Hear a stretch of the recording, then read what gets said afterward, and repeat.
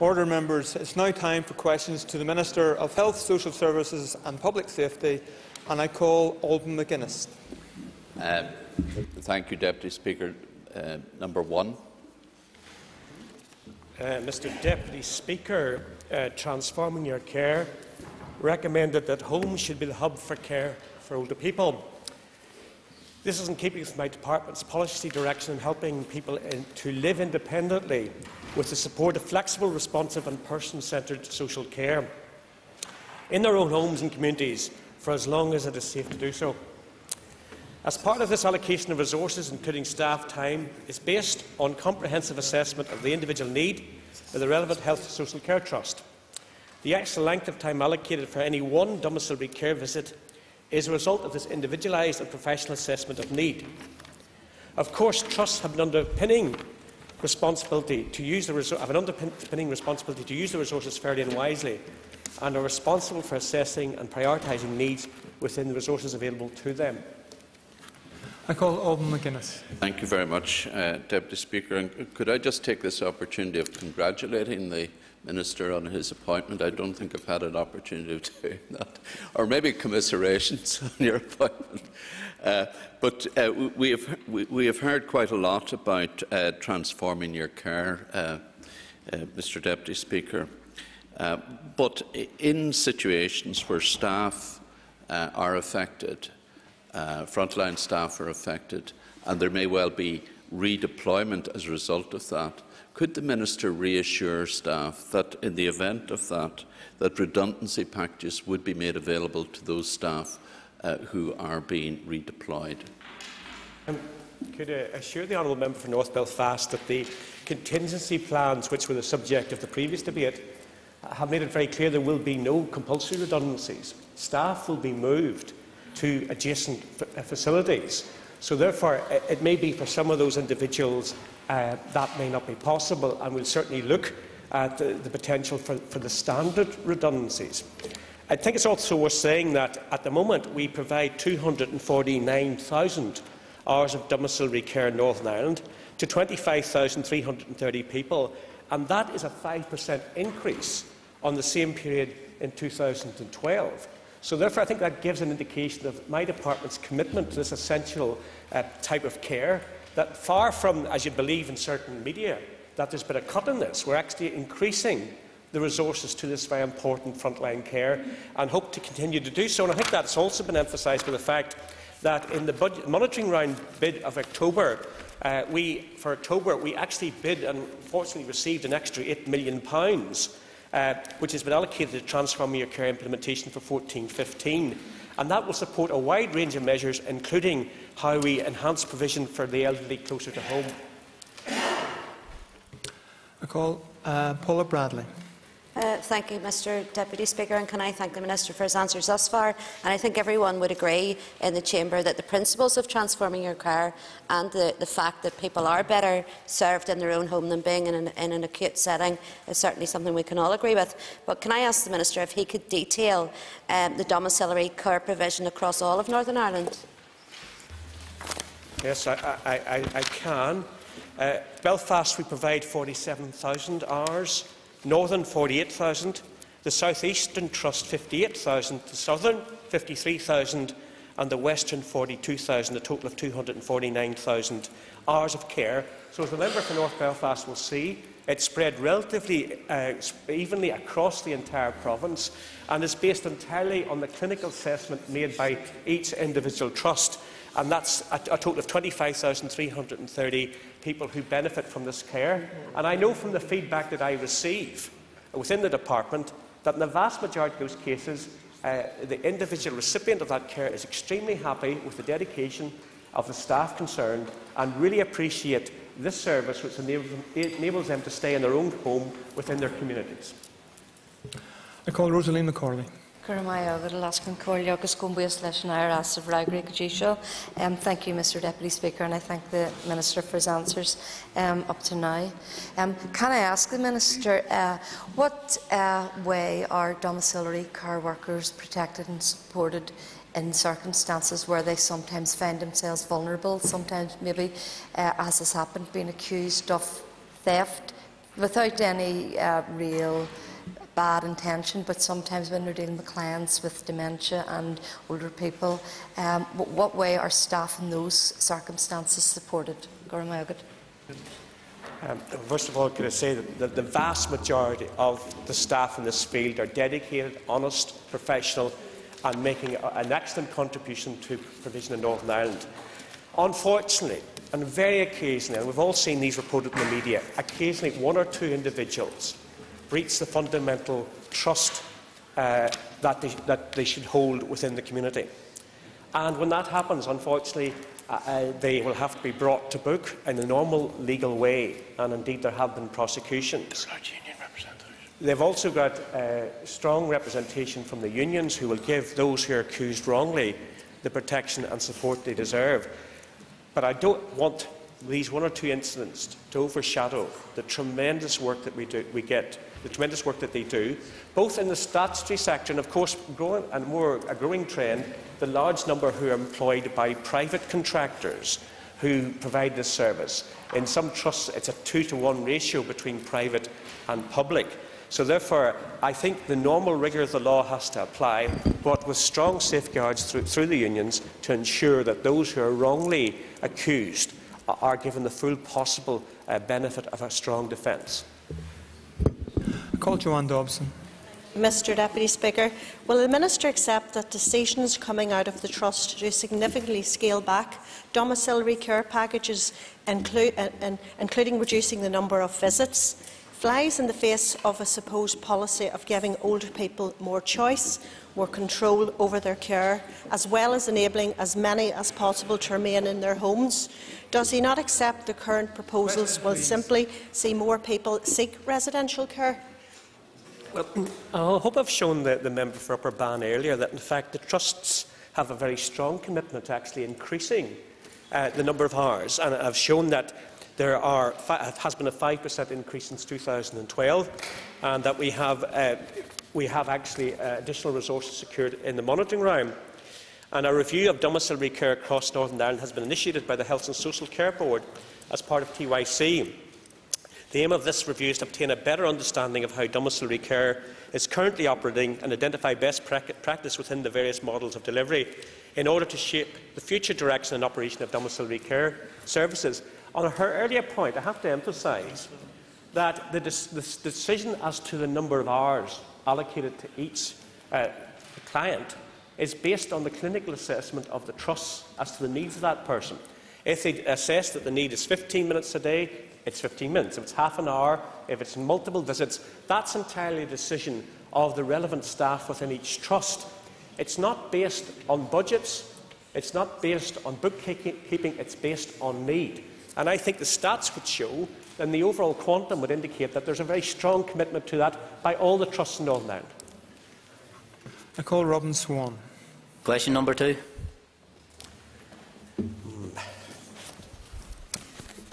Um, in my statement of the 30th of October 2014, I said that my priorities are to ensure that the services provided by the health and social care sector are safe and effective, and to ensure that all my, all my department achieves financial balance, as is required of all ministers. To achieve these aims, Health and Social Care Trusts have produced a range of contingency proposals, and indeed, we were debating these earlier. Each trust has provided me with an assurance that the services will, their services will remain safe and effective. As part of its contingency plans, the Northern Trust has proposed the temporary closure of respite beds in the Dalriada Hospital for sufferers of multiple sclerosis. I regret that the Trust has had to take this action as a consequence of budget pressures. However, it will simply not be possible to maintain the current level of service provision in the absence of the entire funding required of an extra 130 million. The Northern Trust has affirmed that it will endeavour to minimise the impact on frontline patient care. Respite services to MS patients will still be provided, and everybody who requires respite will receive it. The Trust will be working with everyone involved to ensure that all service users' needs are central to the process moving forward. Furthermore, the Trust has also provided an assurance that anyone who has been booked into respite uh, care in November will have no change in that booking. My department will monitor the situation closely over the incoming months to ensure that the service provided to MS sufferers in the Northern Trust continues to meet the needs of the local population. I call Robin Swann. Mr Deputy Speaker uh, acknowledges the Minister's answer. It's unfortunate he didn't actually answer the question that was originally put to him. And in the supplementary, I will ask whether he will intervene to reverse the decision of, to remove multiple sclerosis respite services provided at Dalriada Hospital. That was the question, not about trusts or the provision provided elsewhere. If the Minister would do us the decency and answer that section of the question. I, thank the honourable member for his supplementary, and I must say, when I was a backbencher, I found it very annoying when the minister didn't answer the question. So if I'm guilty of that, then uh, you're absolutely right to point that out. But I think he, as a member for North Antrim, who's been lobbying on this issue, has to face up to some very difficult statistics. In the year 2013-14, the total number of bed days available at the Dalriada was 4,380. Of these, only 1,402 were actually used. Now, that equates to a bed occupancy of 32%, or an average of four beds occupied at any given time. That's a very stark statistic, that we are funding a lot of empty capacity there. Secondly, there are 4,000 MS sufferers in Northern Ireland, and I'm acutely aware of the difficulty of this long-term condition. But only 57 of those 4,000 actually used the Dalriada respite care. 50, uh, sorry, sorry, 57 sorry, from the Northern Trust, 2 from the Belfast Trust, and 10 from the Western Trust, Trust sorry, a total of 69. 69 sufferers out of 4,000 used Dalriada. So therefore, the trend was unfortunately quite negative in terms of uses of this. Now, I accept, and I have been contacted by many of those 69, tell me about the excellent care they've received in Ballycastle, and I accept that. But I am surprised, given the large numbers of potential users of that, that uh, excellent facility, that so far so few have availed of it. I call Paul Frew. Thank you, uh, Mr Deputy Speaker. Can I take this opportunity now to thank uh, the Minister uh, for agreeing to meet with some of the protesters here uh, uh, for the Dalriada Hospital here today at my request. And this is Uh, can I ask, the, can I ask the, the, the Minister that when he states that there's been 1,000 or 1,402 uh, beds used, uh, does he take note that the Trust seems to care more about the empty bed than the patient within the bed? And what engagement has the Trust had with the people, the service users and their families? And how can he assure that the Trust will keep that engagement up throughout these weeks, days, weeks and months? Um, could, I, could I assure the Honourable Member for North Antrim that I have carried out a, lar a large amount of my time over this last few weeks have been with this specific issue. I met a deputation led by the MP for the area. I have discussed it regularly with himself. I met a deputation led by Mr Mackay uh, about, about the issue. I am also receiving a petition today from those who um, are very exercised about this in Ballycastle. I have received literally thousands of emails, text messages, Twitter messages, correspondence and phone calls about this. I am also pledging myself to meet with the District Council Chair and a delegation from Moyle District Council. So there will be a considerable amount of consultation about this issue and I will want to hear from all of those concerned. And of course I also met Patricia Gordon and Brenda Maguire who are officials from the MS Society of Northern Ireland. So therefore I am not taking this decision lightly. I want to hear from service users. And could send a personal note, I know personally three of the patients in that hospital. And they have all been on to me, personally, to indicate their perception of the care they're receiving. So therefore, I am not going into this decision blind whatsoever. I'm taking it very, very seriously. Uh, and also, I have, I've met the Trust to discuss it as well. Before I call the next speaker, could I encourage uh, members and the Minister to ensure that they speak into the microphone in order that what they're saying is picked up? I call Daithí McKay. I get the, and ask Con clear. Uh, it's quite clear, Minister, that over the past couple of weeks, the steps by the Northern Trust to run down the hospital uh, have accelerated quite significantly. Uh, and my concern is that you haven't made a decision yet, and we don't know when you're going to make a decision. So rather than allow the Trust to continue to do that for another two weeks, can you let the House know when you will make a decision in regard to Dalriada? As, I said to the, the member for North Antrim, I have still yet to meet the District Council on this, and I think they have a very important democratic input. Uh, also, I intend to visit the service at some stage to see for myself. And I know Ballycastle extremely well for reasons which will remain uh, not spoken about today, but I would in Ballycastle many, many times in any, any given year. Uh, equally, um, there are still some issues uh, on the finances of this because the, the, the total closure, uh, temporary closure, is at uh, £0.6 million. Pounds, so it is a very, very significant amount of money that we saved. And what I would be interested in from all the members from that constituency and also perhaps to some extent from East Antrim, because I also met Mr Oliver McMullen as well about this issue. Uh, to, to discuss it, is can they come up with an alternative to this decision which would be more acceptable to their community? Because in all of the debate that's been held before and all the questions about this, everyone's decrying the fact that the Northern Trust has come up with this decision. But nobody has suggested any alternative to it. And at the end of the day, I have to ensure that the trusts balance their books by the 31st of March. I have no option whatsoever in taking a debt forward into 1516. So I have to ensure that I land this large spaceship called public health spending on a postage stamp called balanced budget. Now, is anybody going to give me any help on that? I suspect not. I call Jim Allister.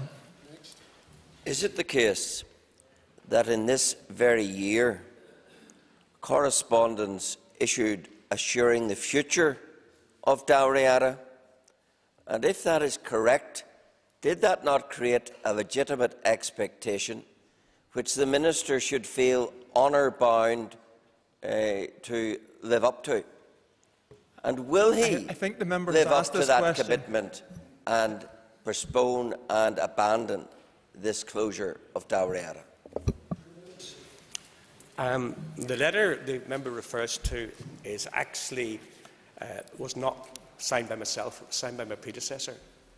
Um, I am looking carefully at the contents of that letter because I think it is relevant. But it is worth saying that my understanding of the wording of it, it said there was no plans to curtail future services uh, provided at the Dalriada. But I expect that he has a, a learned counsel in these issues and he may believe that there was a future expectation. My advice I'm getting is that it didn't, but it is germane to this argument about the future of Dalriada. I accept that. Moving on, I call Alasdair McDonnell. Thank you very much, Mr Deputy Speaker. Question number three, please.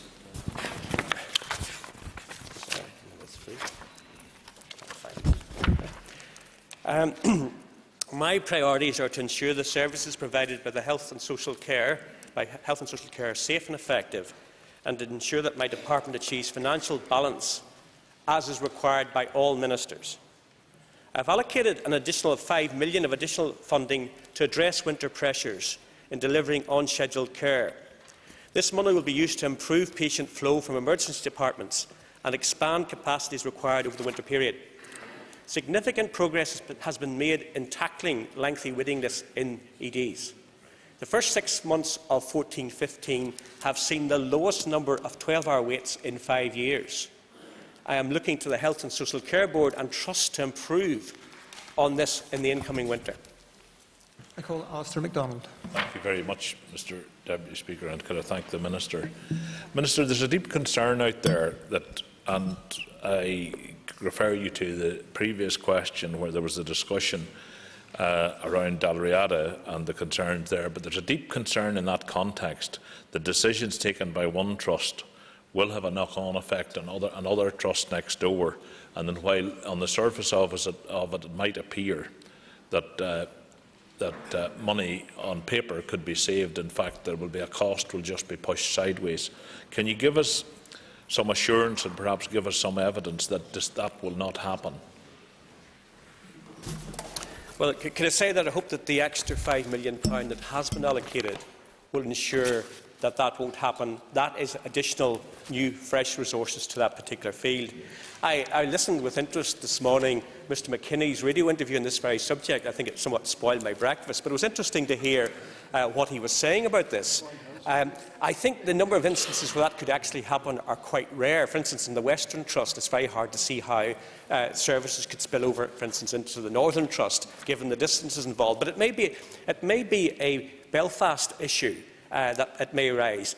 And each health and social care trust has provided assurances that their services will remain safe and effective. and have taken steps to support and protect frontline services.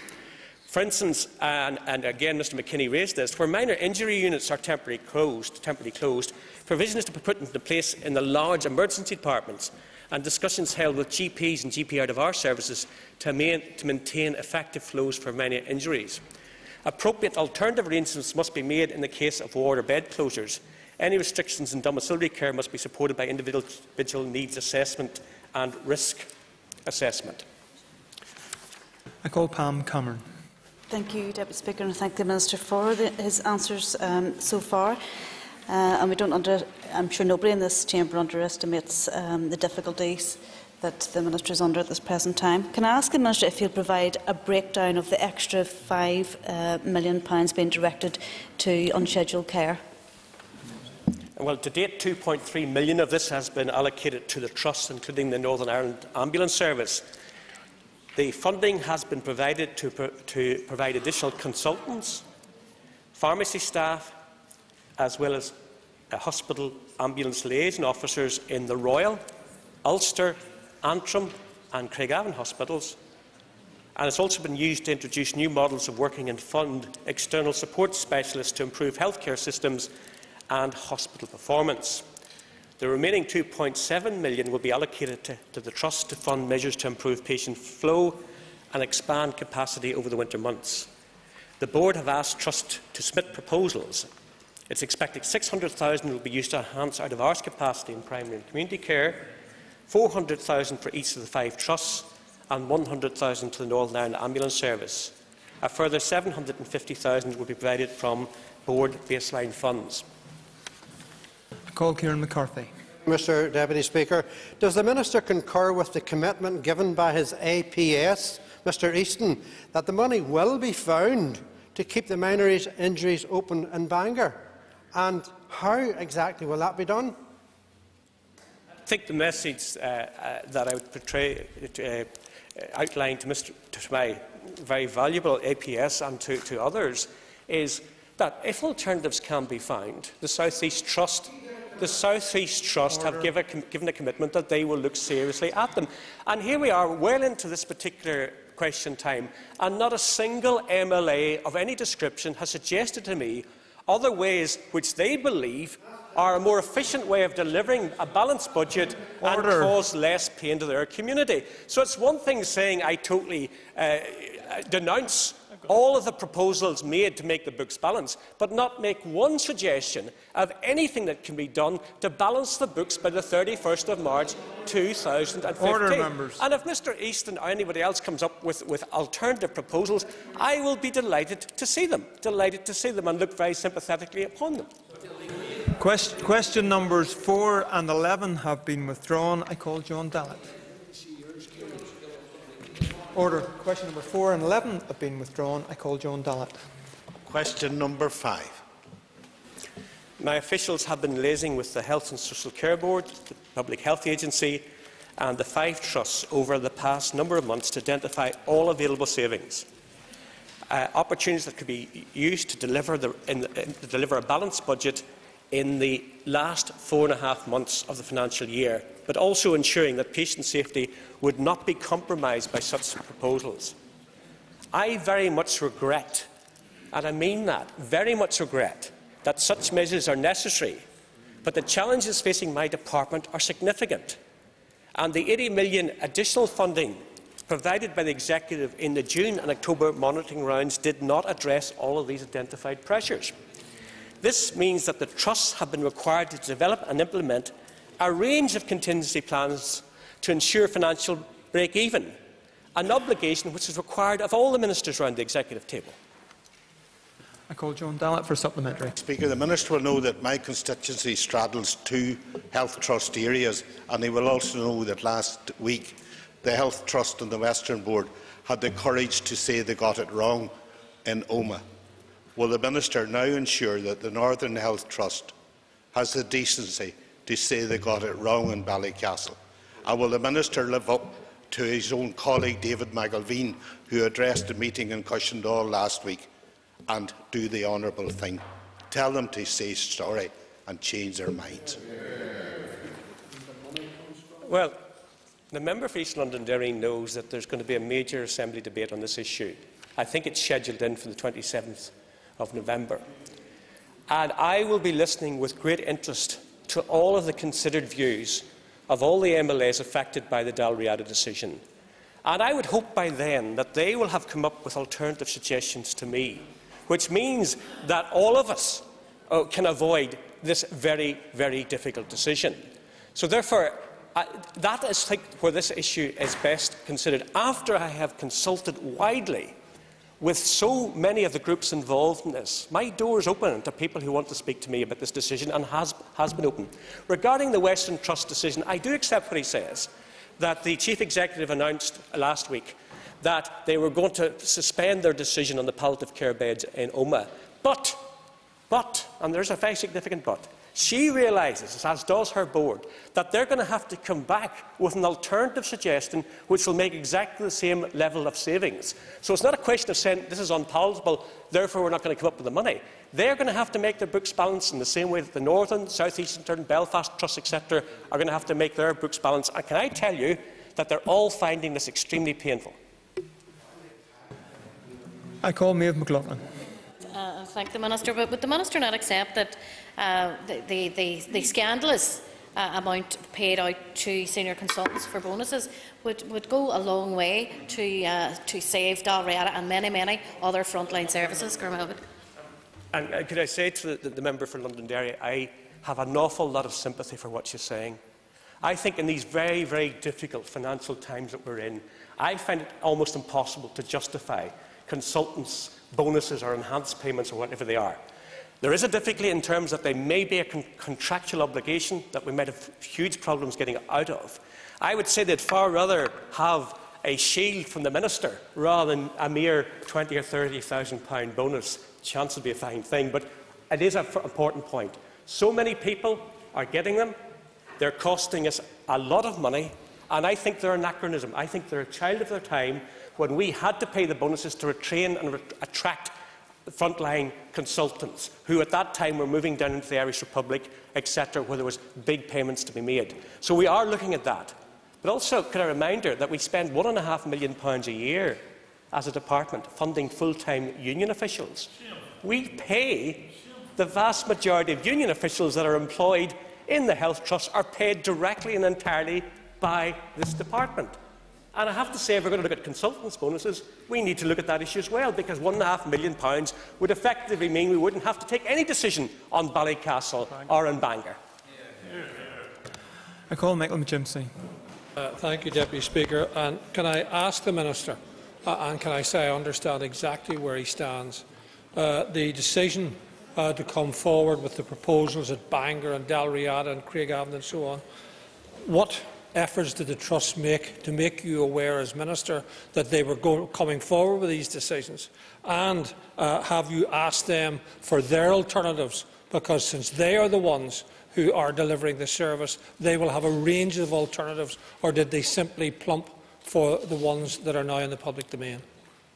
First, first of all, could I thank him personally for the responsible stance that he's taken as an MLA on the committee to the problems that the health service are facing there would have been a golden opportunity to have wreaked revenge on myself. And I thank him for the fact that uh, in the interim few months he has been, and my, uh, maybe time yet, but he has been very responsible, and this is a very responsible question.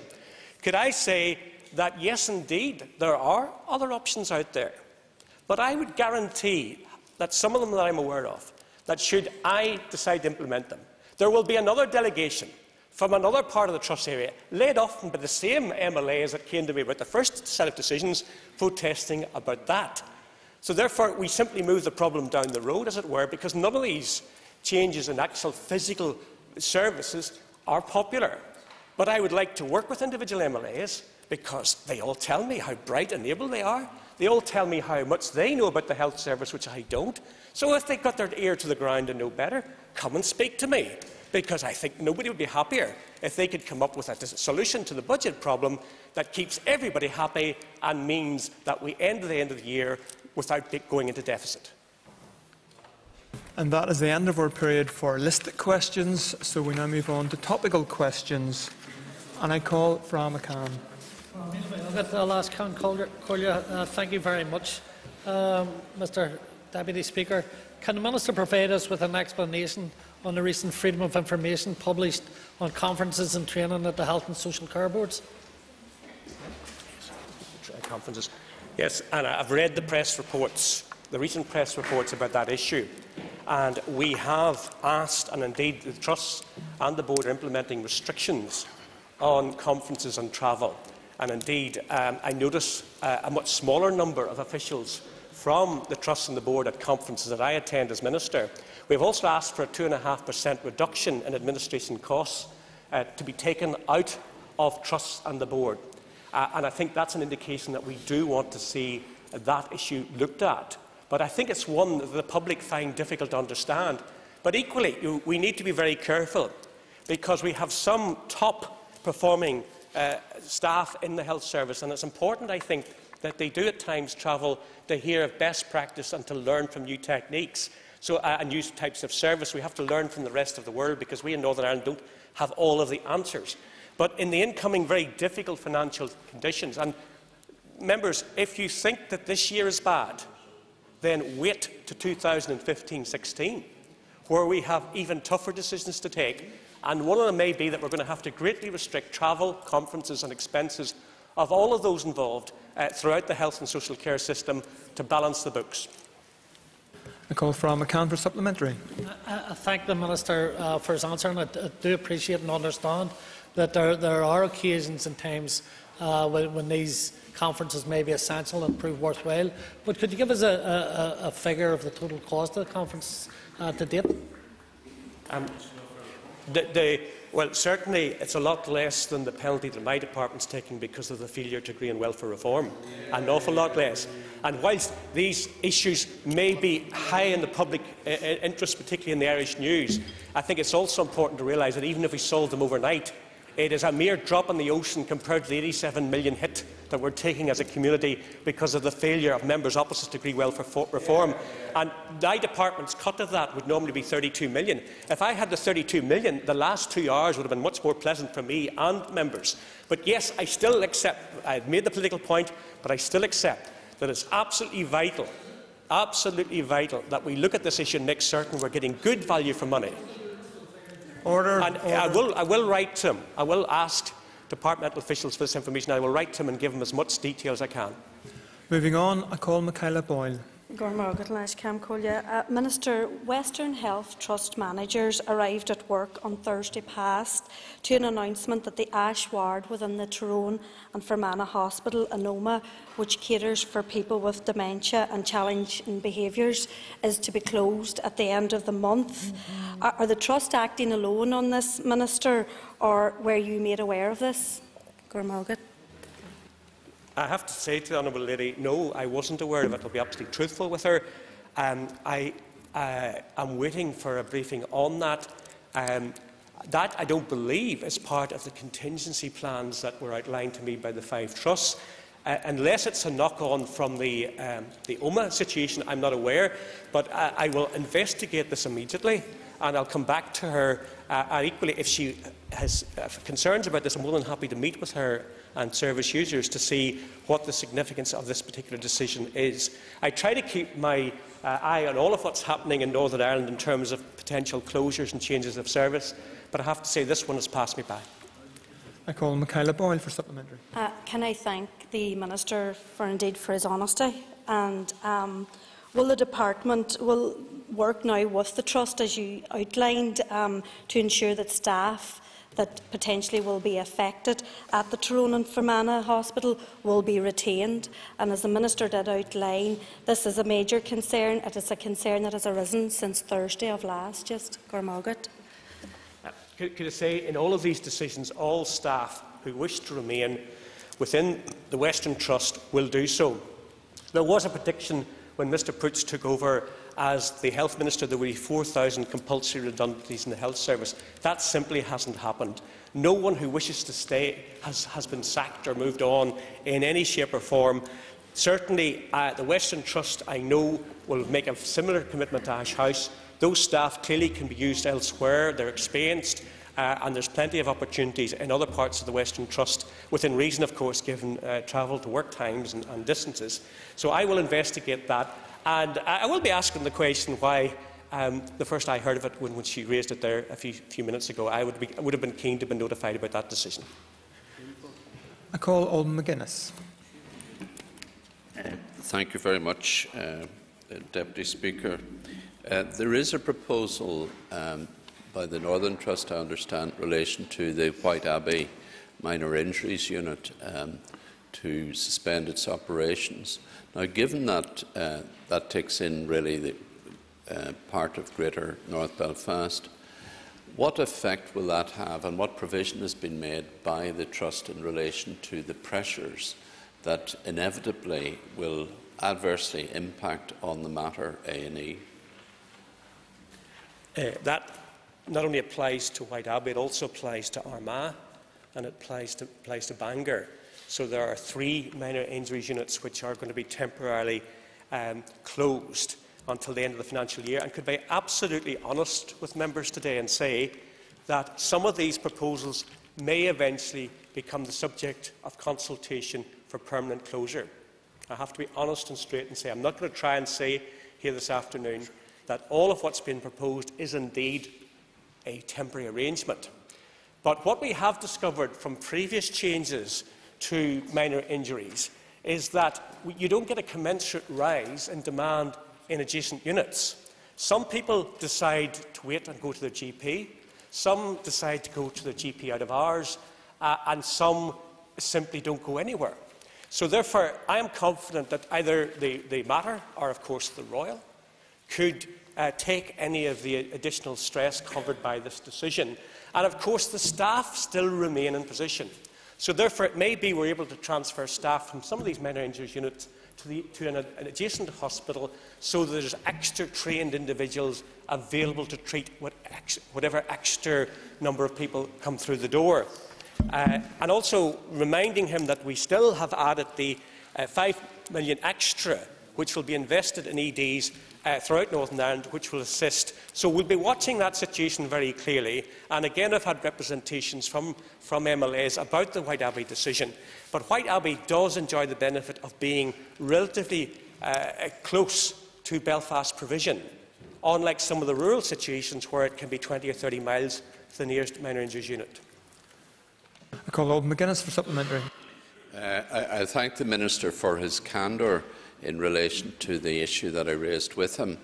Uh, but really, you know, it, uh, part of the problem here is the failure to have a strategic approach to dealing with all of these units and accident emergency units as well. And I would uh, ask the Minister to reassure the House that he will look at a more strategic approach and not allow this sort of piecemeal uh, process to take place. Um, as I said to, to the chair of the committee, some of what we're doing is counter-strategic, and I accept that. But he needs to understand the situation we're in. 63% of our, my entire budget is used to pay staff wages, salaries, national insurance and pensions. And there's no way I can touch that and make any savings, because it's three years before any redundancy saves a single penny. Another 12% of the budget is tied up in contracts and we can't simply turn around to the contractor, say, the New Hospital, and say, sorry, folks, we've run out of money, you're going to have to stop work. That can't be done. Legally, we have to sustain that contract and any others. So therefore, the actual proportion of my budget that I can touch is 25%, roughly. Therefore, I'm inflicting an awful lot of pain on a very small part of the budget. But it's that part of the budget that can be touched legally. So therefore, I, if you're starting with a white sheet of paper with two years' notice saying would you make the decisions you're making at the moment? And the answer is in many cases, no, you wouldn't. But we simply have got no option but to balance the books at the end of March 2015. There is no provision to carry over a debt. It simply will not be allowed. So that is where the trusts are. They're trying to find not sometimes which are the most logical decisions, but the most deliverable, decisions, and therefore that affects his constituents. And do, do I wish I wasn't in this position? I certainly would have had a lot fewer sleepless nights over this last 54 days if I hadn't to make these decisions in conjunction with the Trust.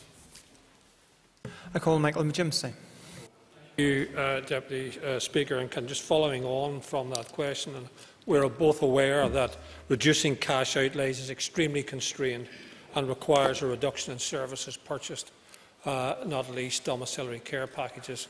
Uh, can we be assured that domiciliary care packages will be maintained, and particularly new admissions to independent uh, sector residential and nursing homes? Some of the trusts, as part of their contingency savings, have outlined that in the last few months they're going to have to slow down the increase in packages uh, given to the needy. But still, those who are in urgent need will get a domiciliary package. That will happen. Others, there will be a slight slowing down. But remember, that's in the face of an increase in resources given to that particular sector and a 5% real increase over this last year and a commitment to provide extra money under TYC for this. But I have absolutely no doubt that individual MLAs in this Assembly will be writing to me complaining that things will not move as fast as they'd wish to do so over the next four months. But again, what I'm saying is these are a needs-must decision to balance the books. Because we've all heard from the chair of the committee, her view, when the department last year overspent by 0.3 per cent. £13 million on a £5 billion budget. So that's the pain uh, that we're suffering if we go slightly over budget. So therefore, I cannot possibly consider a £70 million overspend because the criticism would be legion from members of this House. So therefore, we have to live within budget. And unfortunately, a lot of the next four months is firefighting trying to do that, rather than concentrating on what I would like to do, which is the long-term strategic planning of what is best for healthcare in Northern Ireland. I wish I had time to do that, but really, it's a needs-must situation that I'm in. Call Michael McGimpsey for a supplementary. Uh, Deputy Speaker, and I thank the Minister for that answer. He will be aware that the concern is that elderly and vulnerable will not be receiving the services they require, therefore putting them at unmanageable and unacceptable risks. Uh, can he assure us that that will not happen? The, the Trust Chief Executives have given me a commitment that the decisions that they're taking, whilst they're painful, will not endanger long-term sustainable high-quality care.